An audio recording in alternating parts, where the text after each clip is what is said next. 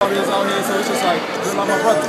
Talk all the time when I'm overseas, and just being able to come back and play again with them is, is the best feeling. So uh, you've been doing what lately then? Um, obviously, my first year, my rookie year, I was out in Turkey. Past season, I was in Serbia. I played in the Adriatic League, where were ranked as the third best league in Europe. We ended up coming third. Qualified for Euro Cup next season. Um, had a solid season, and just waiting working out the last couple of weeks, and I'm playing this game, and then uh. Was there any hesitation, Matt, that, that you were going to maybe not play this game because you were over in London? Oh no, I knew I was.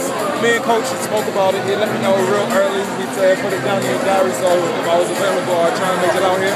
Um, and that's exactly what I did. I let him know um, as soon as as soon as I knew where I was going to be, that I'd be, I was going to be free and they could come down. I, I was excited. I knew I was going to come.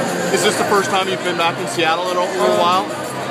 I came back last summer. Um, I was here after summer league. I stayed for about a week and a half, two weeks before I went back home to London. Did it feel like coming back home, or was Um, it? yeah, it's, I always um, regard Seattle as my second home. Um, just know so many people, um, got so many people looking out for me and watching my hair. Let me let me know that they've been watching out for me while I'm overseas. It's a good thing.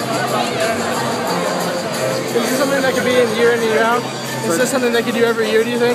Um, yeah, um, I think they would have to mix, uh, mix up the teams a little bit. Um, not like it's not competitive, but just to get a different feel every year. Um, or if they did it every two or three years, and then you could um, see how it is. So different alums get to come back. So it's time for Gaddy, time for um, Aziz, time for Scott. All those guys get to get a chance to play.